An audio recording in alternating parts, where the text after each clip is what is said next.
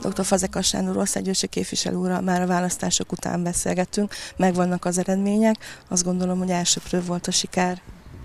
A Fidesz minden eddiginél nagyobb eredményt ért el, ez a több mint 52 százalék, ez Karcgon több mint 60 százalékot jelent, kétharmad közeli eredmény. Köszönet érte mindazoknak, akik támogatják a Fidesz politikáját, akik számára fontos az, hogy Magyarország önálló, független legyen, és hogy magyar jellegét megőrizze a jövőben is.